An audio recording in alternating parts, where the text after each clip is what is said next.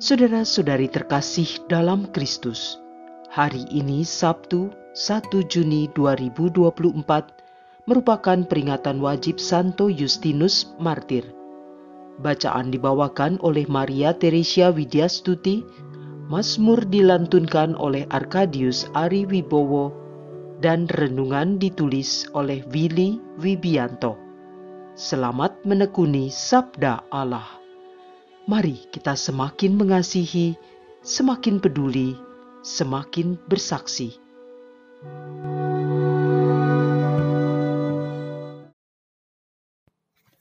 Dalam nama Bapa dan Putra dan Roh Kudus. Amin. Tuhan, Engkau memberikan kepada kami firman-Mu.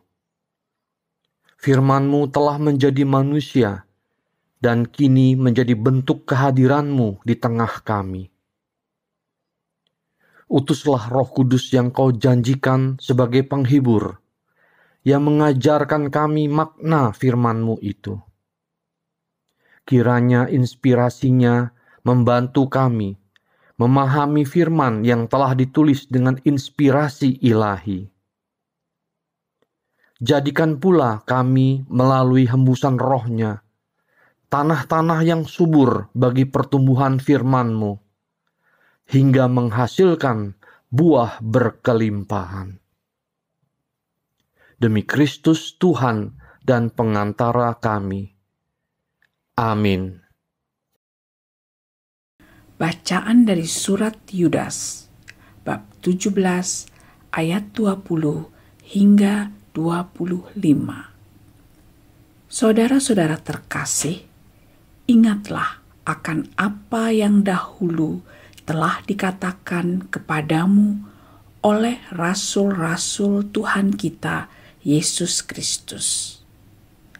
Maka bangunlah dirimu sendiri di atas dasar imanmu yang paling suci, dan berdoalah dalam Roh Kudus. Peliharalah dirimu dalam kasih Allah sambil menantikan rahmat Tuhan kita, Yesus Kristus, untuk hidup yang kekal. Tunjukkanlah belas kasihan kepada mereka yang ragu-ragu.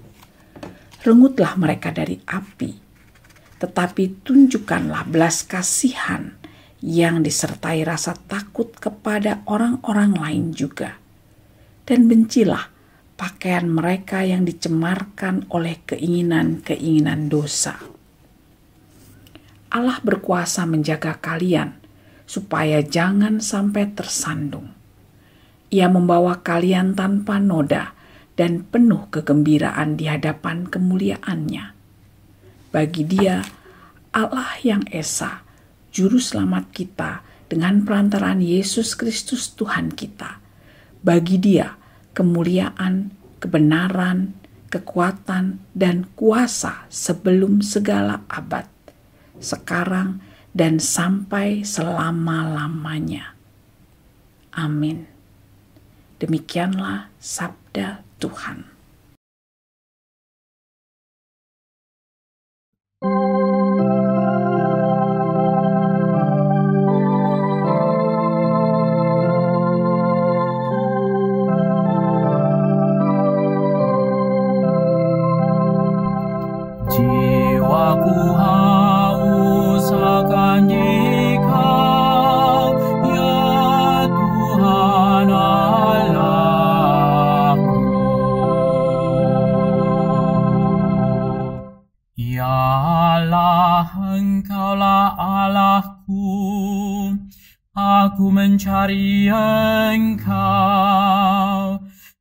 Jiwaku haus akan dikau, tubuhku rindu kepadamu.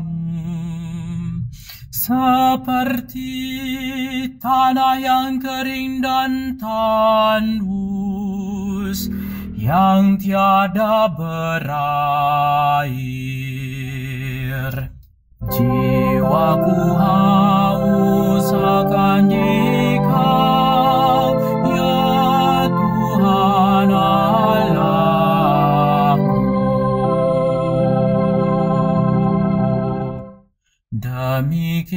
Demikianlah aku rindu memandangmu di tempat kudus, sambil melihat kekuatan dan kemuliaanmu.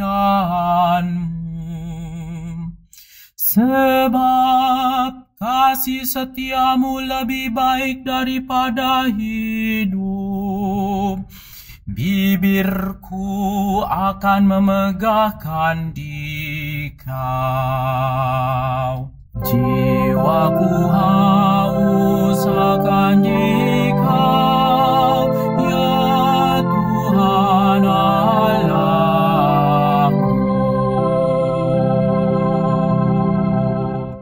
Aku mau memuji Engkau seumur hidupku dan menaikkan tanganku demi namamu. Seperti di jamu lemak dan sumsum, jiwaku dikenyangkan. Bibirku bersorak-sorai, mulutku memuji-muji. 叽哇咕哈，乌萨嘎尼。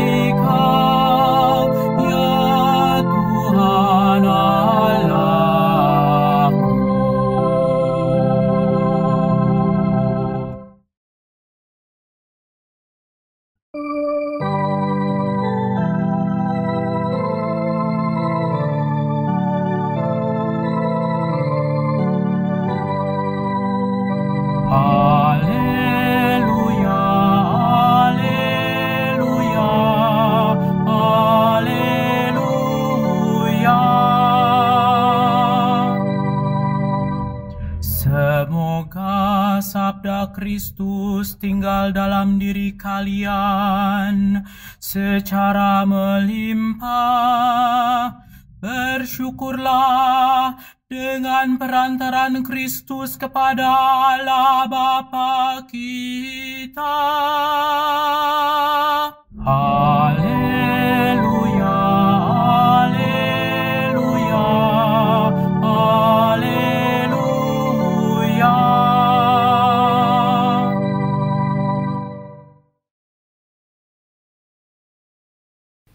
Injil suci menurut Markus bab 11 ayat 27 sampai dengan 33. Beberapa waktu sesudah mengusir para pedagang dari halaman bait Allah, Yesus dan murid-muridnya tiba kembali di Yerusalem. Ketika Yesus sedang berjalan-jalan di halaman bait Allah, datanglah kepadanya imam-imam kepala, ahli-ahli Taurat, dan kaum tua-tua. Mereka bertanya kepada Yesus, "Dengan kuasa manakah engkau melakukan hal-hal itu? Dan siapakah yang memberi kuasa itu kepadamu, sehingga engkau melakukan hal-hal itu?" Yesus menjawab, "Aku akan mengajukan satu pertanyaan kepada kalian. Jawablah aku, dan aku akan mengatakan." dengan kuasa mana kulakukan hal-hal itu. Pembaptisan Yohanes itu dari surga atau dari manusia? Jawablah. Mereka memperbincangkannya seraya berkata, Jikalau kita katakan dari Allah, ia akan berkata, kalau begitu, mengapa kalian tidak percaya kepadanya? Tetapi masakan kita katakan dari manusia? sebab mereka takut kepada orang banyak, karena semua orang menganggap bahwa Yohanes betul-betul seorang nabi. Maka mereka menjawab kepada Yesus, "Kami tidak tahu." Maka kata Yesus kepada mereka, "Jikalau demikian, aku pun tak akan mengatakan kepada kalian dengan kuasa manakah aku melakukan hal-hal itu." Demikianlah sabda Tuhan.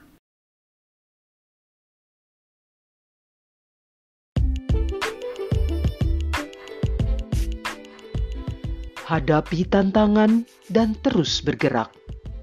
renungan dibawakan oleh Willy Wibianto.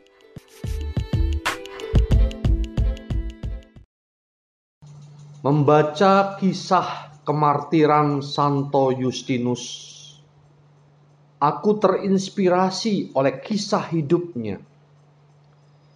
Di abad awal tahun 156 Masehi, Justinus lahir di Samaria, Asia Kecil. Dia dididik dengan baik dan outputnya ia menjadi pribadi yang ulet, cerdas, rendah hati, dan berani.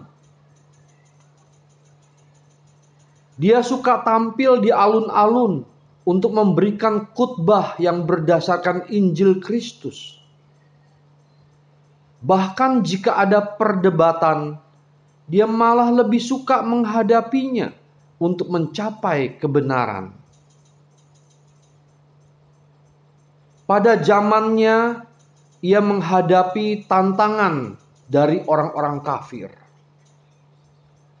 Dia ditangkap disiksa, dianiaya bersama murid-muridnya.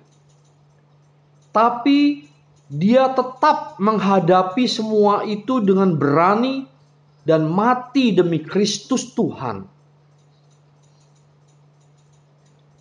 Pada zaman Yesus dulu, para ahli Taurat dan orang-orang Farisi tidak suka dengan Yesus mereka selalu mencari jalan untuk menjatuhkan Yesus dan akhirnya membunuhnya. Tapi Yesus tidak takut. Yesus tetap menghadapinya dan setia akan kehendak Bapaknya, yaitu disalib sampai wafat di kayu salib. Tapi pada hari ketiga dia bangkit dari mati dan hidup jaya di surga. Bahkan dia mengutus roh kudus, rohnya untuk selalu mendampingi umatnya, memberikan kekuatan dan penghiburan kepada umatnya sampai dengan sekarang.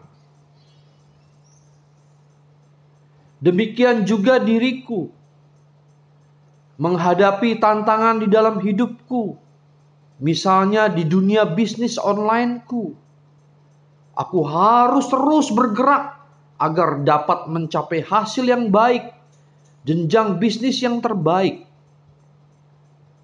Itu tidak mudah. Namun aku diajak oleh Tuhan Yesus terlebih dari inspirasi sabdanya Sabtu 1 Juni 2024 dan teladan dari Santo Justinus Martir yaitu Santo Justinus menghadapi tantangan hidupnya dengan disiksa, dianiaya sampai mati karena Santo Justinus setia beriman dan membela ajaran iman yang benar, yaitu iman Katoliknya. Terlebih lagi Yesus Kristus. Dia yang adalah sungguh Allah 100% dan sungguh manusia 100% tetap setia menghadapi tantangan hidupnya dan terus bergerak untuk mewartakan kabar baik bahwa Allah Bapa sungguh mencintai kita semuanya. Aku pun tak gentar untuk maju bergerak menjalankan bisnisku dengan baik dan benar Aku didukung oleh tim bisnisku dan aku pegang nilai-nilai luhur yang sama dengan nilai kristianiku yaitu berani, terus maju dan dengan rendah hati menerima bimbingan dan kekuatan Roh Kudus.